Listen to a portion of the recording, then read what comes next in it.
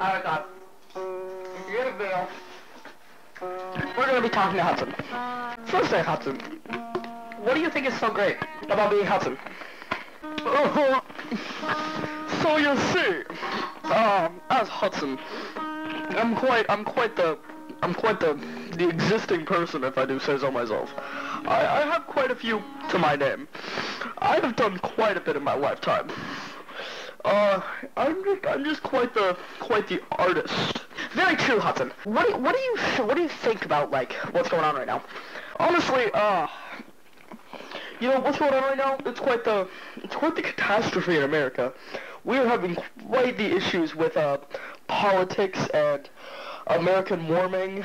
Uh, can't forget about the uh, all all those coyotes in the south. Gotta kill all of them. And the trooper, and the chupacabra.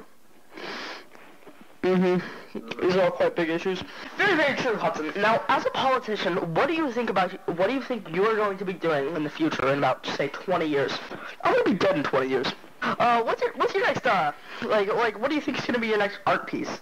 Saying is you you are a politician, but you're also an artist, a professional singer, an athlete for every single sport ever existed, and uh, you also design houses.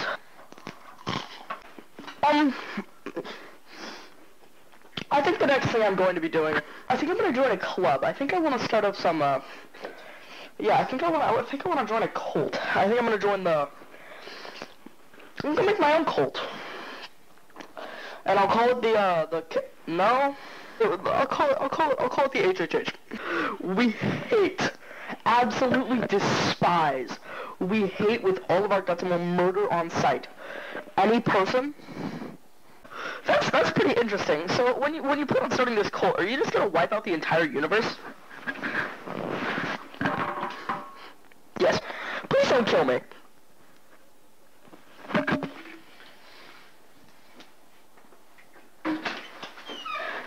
Where'd he go? Now the interview is over. Sorry, my racism.